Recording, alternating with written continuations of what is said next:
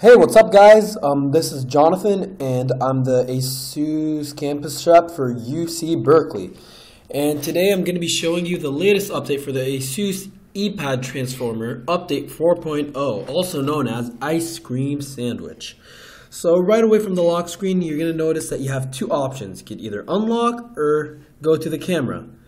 Um, another thing is that now the notification bar can it's easily accessible from the lock screen, so you don't have to unlock it to go to the notifications. Um, I'll be showing that more in depth uh, later. So let's just unlock the tablet. As soon as you unlock, the first thing that you're going to notice is that the font is different. The font feels much more crisp and cleaner. Uh, this new font is called Roboto, and it comes with 4.0. Um, another thing you're going to notice is that the Google Talk application, the icon, it's more square than rounded in comparison to before. And another little tiny thing is that up here, instead of squares, you have like little, sorry, instead of dots, you have like little squares now, which isn't much of a difference. Now, one of the most anticipated features for 4.0 and for this update is the folder system. So here you, here you can see I have two icons, talk and market. So what I do is hold and drag, and there I have a folder. Let's do that again. Hold and drag. And there we have a folder. Um, let's name this folder G Apps. Enter. And there's our folder and uh, blurry. So there's our folder and there it is. If I don't want it anymore, simple. Just drag and drop. Drag and drop. Okay, and another thing. So up here on the top right, we have our apps. Um, here's the list of all of our apps. Normally when you're scrolling, if you hit the end of it, there wouldn't be any more. Like you can't scroll anymore. But now if you scroll, you end up in widgets. So the widgets are now part of the app tray. Here we have apps, here we have widgets. So let's get a widget. Uh, let's get bookmarks. You hold it, Let's pick a screen, empty screen. Here we go. And you drop it. And there we go, widgets. Um, I can make this bookmark widget longer, shorter. Same thing as 3.0. Drag and remove. What else do we have? Uh, let's check out the camera app. So the camera app I can easily open from right here. I'll show you how it is from the lock screen. So we lock and we unlock. And where's our, here we go. Let's go to camera. The camera app looks pretty similar with a few differences and expect a few different stuff. I mean, we have white balance, we have exposure, and we have more settings. What's cool is that they give you the option to turn off the shutter sound, which can come in fo- uh, can come in handy from time to time. Um, so you have the back cam, and then you have, sorry, you have the front cam, and you also have the back cam. Hello. Um, let's check out, so we could go to video. Um, with video, you have time, uh, so let's see. We have white balance, we have effects, which I'll show in a second. We have time lapse, which is very, very, very cool. And we have video quality. Uh, let's check out effects. Um, let's get squeeze. And you know what, let's just switch to the other cam. Um, hello, there I am. And uh, yeah, there I am. Uh, this is the squeeze effect. Oh, okay. Um, there you have big eyes.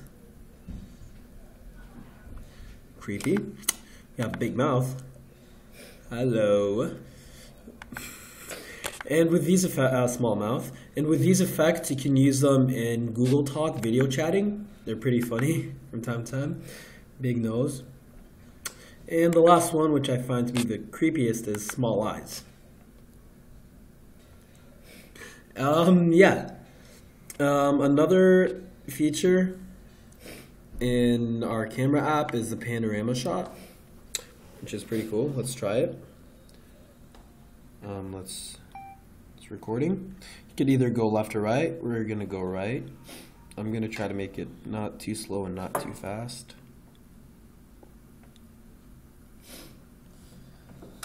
And stop. And then it saves it. It's pretty fast, in my opinion. And it's saved. So let's go on the top right. We'll click on it. And there we go. And oh, if you noticed, you have all these share options over here. Pretty nice and convenient. And let's see. Oh, another cool thing is when you go to the camera, when you take a shot, uh, let's switch. So when you take a shot, it does some pretty nice and cool effect. Check it out. So take. it's pretty cool. And yeah, um, let's check out Gmail. Gmail is more or less the same. I'm sorry, I'm gonna hide it for a sec. Uh, I just wanted to show you a quick little setting. So we have experiments over here. And we have this feature called enable drag and drop. I'll show you how that works. So let me just create a new email. Uh, type in Jonathan, that's me. So here I am. What's cool is that now you can drag and drop. Let's just say, here, let's go over here. Let's uh, turn on, okay, so we can drag, um, oh, whoops, darn it. So you drag by the, and drop. There we go. It's really convenient. I have yet to use it though, but it will come in handy soon enough. Um, what else? And we have a new ASUS application, a very, very handy one. So before we had app backup, and ASUS was kind enough to also provide app lock. So let's go there. Um, let me just input my password. Okay. Uh, yeah, let's activate it. So it lets you lock applications with a password. Let me just pick Google Body and Google Books. And they're locked now. Um, as you can see here, Body has a little lock icon and Books also has a little lock icon. If I try clicking on it, it asks for a password. Let's put in our password. There we go. And here's our application. It's pretty convenient if you're ever trying to hide any apps or anything, or trying to put a password on them. Um, we also have a, the notification bar. The notification bar, as you noticed, is a bit different. It has all these toggle options. And these aren't stock ice cream sandwich.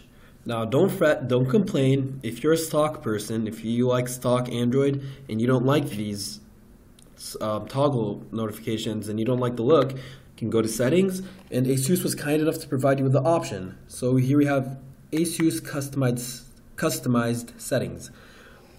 And here we can turn it off. And now when you go down here and click, there we go, stock Android notification uh, bar. Just press on it. And there we go, not a problem. I personally prefer the quick toggle settings. And also if you notice, we also have the option this is not new. You can either do mouse cursor, pointer, or gesture mode, which provides multi-touch. And we also have, it gives you the, ASUS provided the option, this is new, the right button behavior. So when you right click, it gives you an option. I personally like the right click button to act as a back key, so that's very, very convenient. Thank you, ASUS. And since we're in the settings, let's check out settings in general. Uh, the settings menu seems much more cleaner and organized. As you can see here, we have, let's let it focus. Hmm. So we have wireless and networking. Darn it, focus camera. Wireless and networking, we have device, we have personal, and we have system. Speaking of system, if you go here, you notice developer options.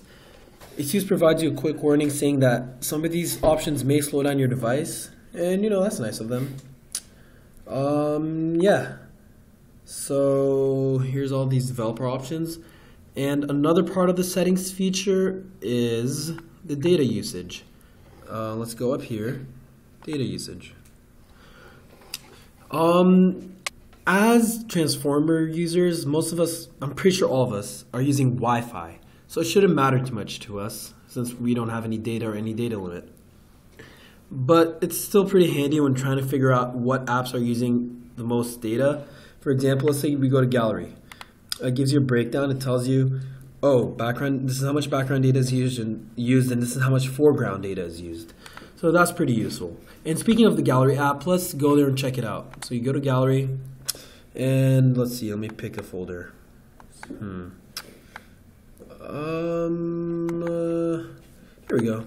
Actually, yeah. Uh, here's an album. This is called G74S. These are pictures that I took while I was reviewing the G74S, which is an Asus 3D gaming laptop. But here's here are some pictures. And by the way, these are pictures from Picasa, and everything is synced. Let's go to settings. Let's edit it. And let's pick Photo Studio. Photo Studio is built in. I'm not going to go too much in depth with the options. I'll just click through them and you can check them out. You have these. And yeah, these are the options. Pretty cool. And another cool thing, pretty much as ice cream sandwich users, we now have the option to use Google Chrome beta. Um, let me just open up a tab here. Um, yeah, here we go. Let me just type in asus.com, asus.com. Let me open up another tab. So yeah, um, it's an amazing experience using Chrome on a tablet. It feels very similar to its PC counterpart. Um, there we go. We can move tabs around. We have uh, all these options. This is, and by the way, this app is downloadable from the Android market, and it does not replace your stock browser, which is a totally different thing. Um, you know what? Speaking of stock browser, let's check that out real quick. Um, Stock Browser does provide a few new features. So it looks very similar. If you go to settings, um, we have incognito tab that will spin around. We can save for online reading, then we can request desktop site. Um, yeah, and from what I can tell, I've reviewed I've reviewed a bunch of the features on ICS Ice Cream Sandwich. Um, if you guys have any other questions, you can let me know. Um, if there's any features that I missed, you could let me know and I'll record another video for it. Um, so yeah, don't forget to like uh, the ASUS Campus Life at UC Berkeley page. And that'll be all. See you guys.